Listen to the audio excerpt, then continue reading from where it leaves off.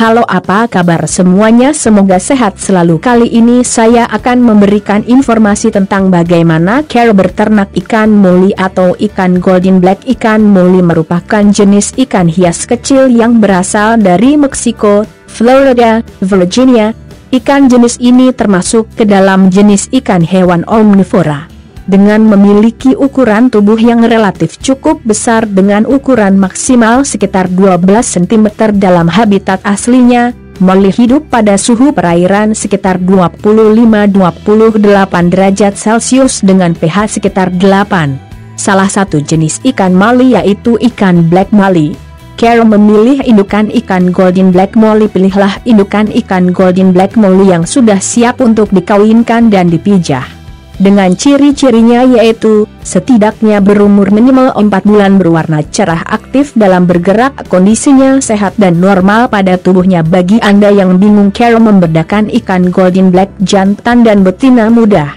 Ikan golden black molly jantan memiliki kepala yang lebih besar, badan lebih yang lebih ramping, warna lebih cerah dan bagian sirip punggung lebih panjang daripada ikan golden black molly betina. Selain itu, ikan jantan juga memiliki gonopodium.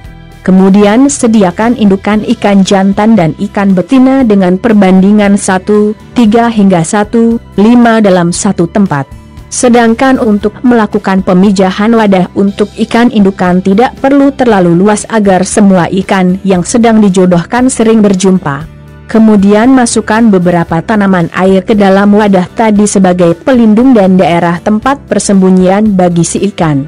Gunakan air tawar sebagai media pemeliharaan ikan golden black mali. Hindari memakai air prime jika ada kandungan kaporet di dalamnya dan disarankan gunakan air sumur atau air sungai.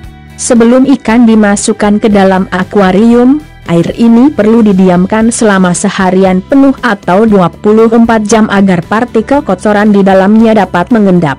Hal ini bertujuan untuk mendukung kesehatan ikan kemudian masukkan garam sebanyak 1 sendok makan per 8 liter air ke dalam akuarium demikian sedikit informasi dari ibu semoga bermanfaat. Terima kasih.